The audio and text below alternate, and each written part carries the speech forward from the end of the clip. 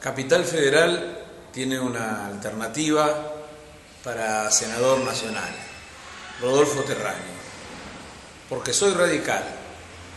Les pido que el domingo voten a Rodolfo Terrani.